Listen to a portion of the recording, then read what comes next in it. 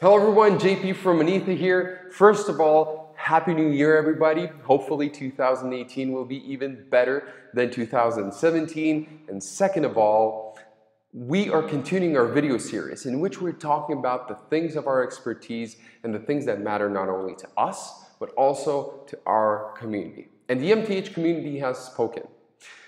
They are interested in hearing more about this topic. And there is no surprise since it is a very hot debate in a blockchains community. Some of you may already guessed it. Yes, we're going to talk today about the fight between the proof of work and the proof of stake.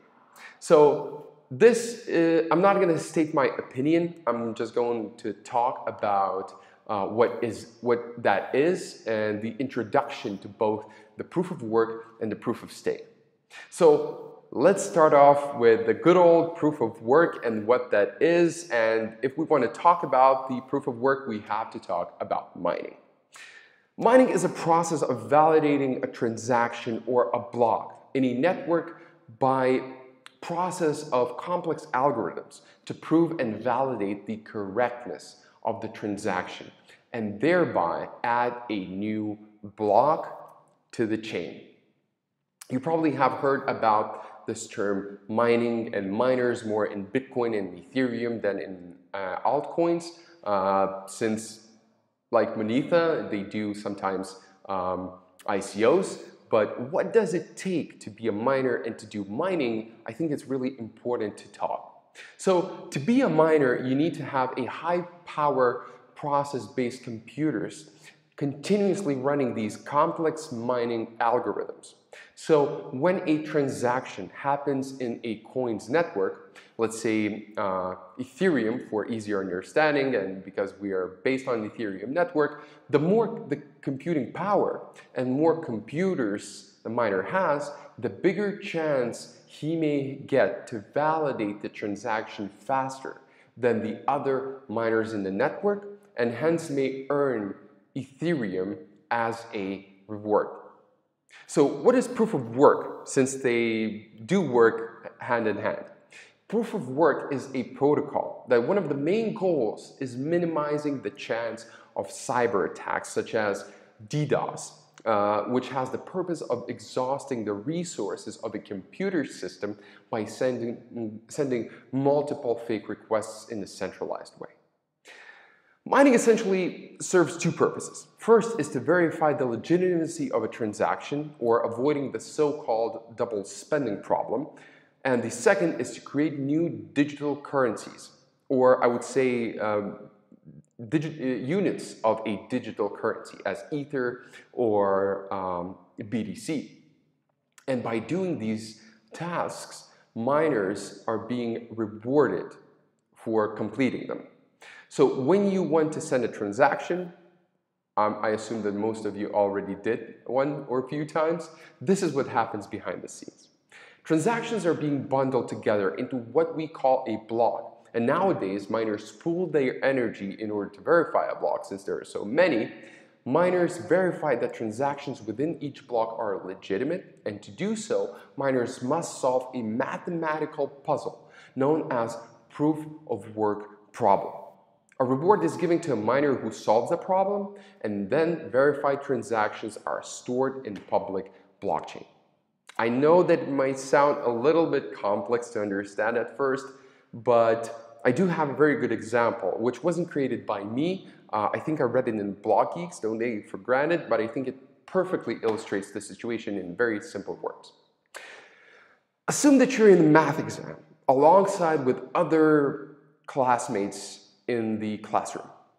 Student who can not only come up with the correct answer, but also can come up with the complete proof of how he came up to that answer, the thought process behind it, and does it first, gets a reward.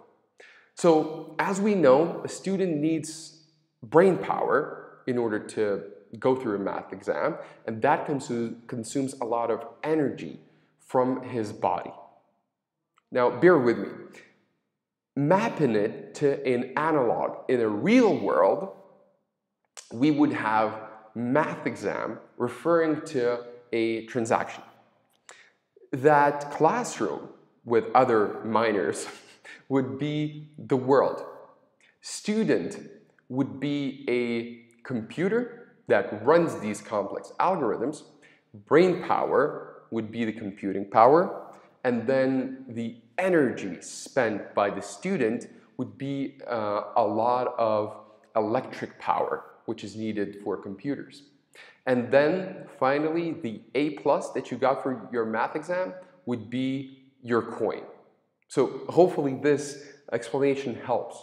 And I do want to uh, bring an analog to the proof of stake, as we already talked about proof of work. Proof of stake would be you getting that A plus grade, but bribing your teacher, or I should say maybe lending your money to your teacher. I know it might sound complex, but bear with me.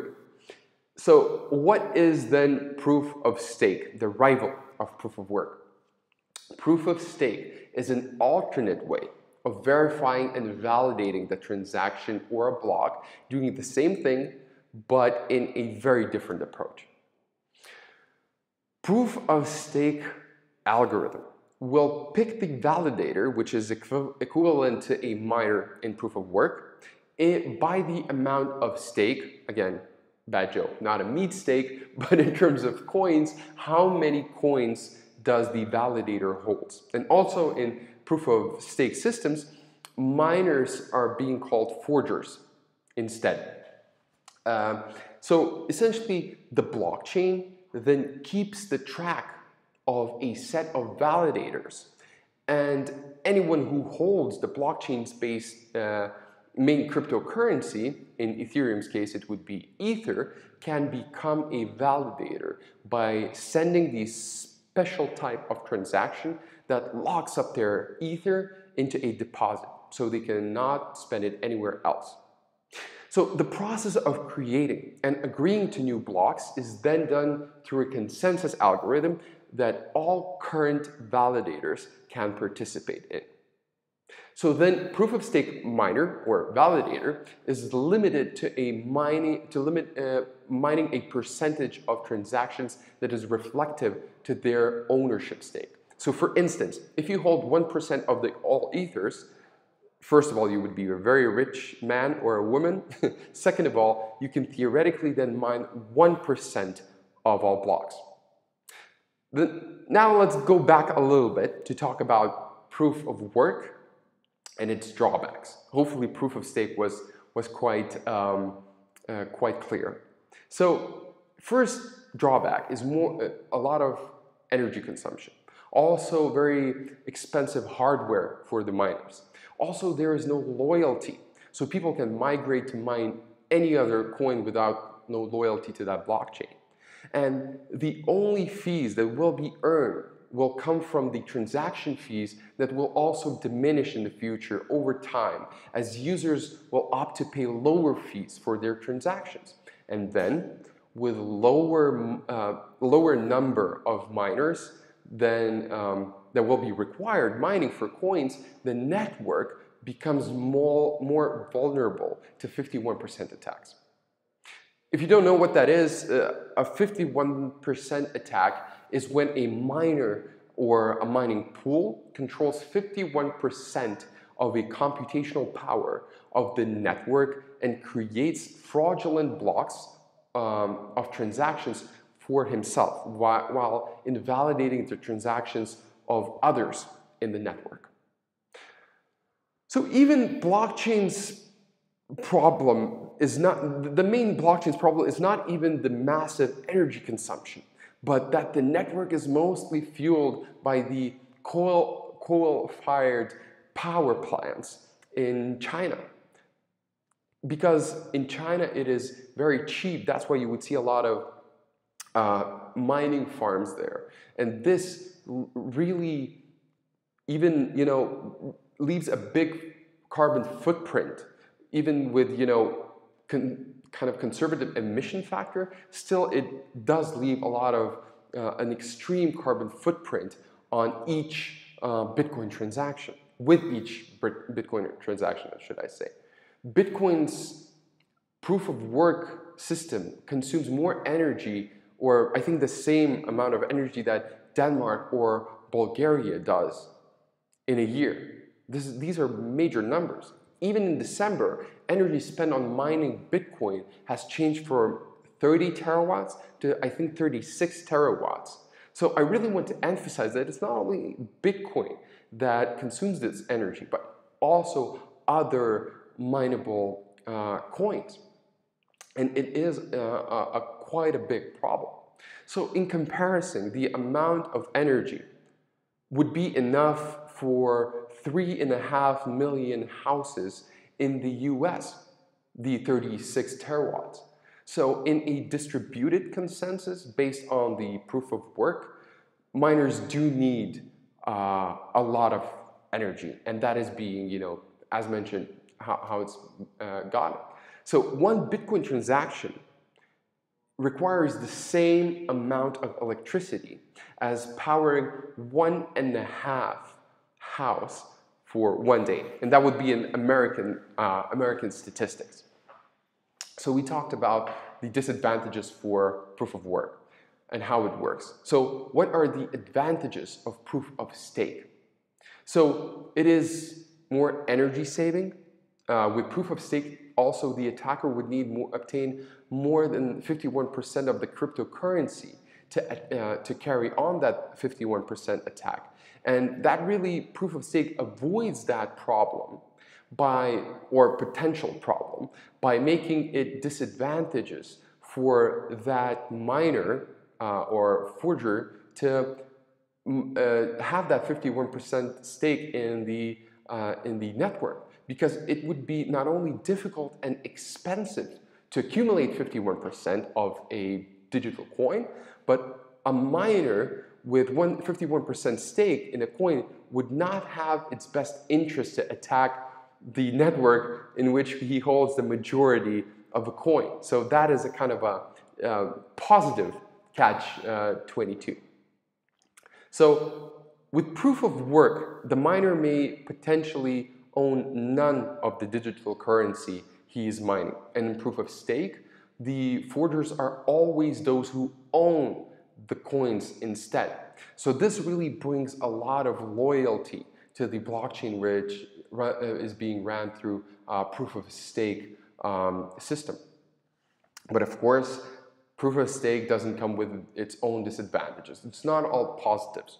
Proof of stake has its own downsides, like the possibility of long-range attacks, uh, initial distribution problem. I'm really sorry my computer's battery died. Um, probably didn't like that I was talking about the drawbacks or the disadvantages of proof of stake, but I'm going to continue with those. It does have also a problem, uh, a potential problem of a bribe attack or nothing at stake problem, but the Ethereum Foundation is working really closely and very hard to really um, come up with the solution to all this by implementing this uh, protocol which is based on uh, proof of stake, which is, being, uh, which is being called the Casper protocol.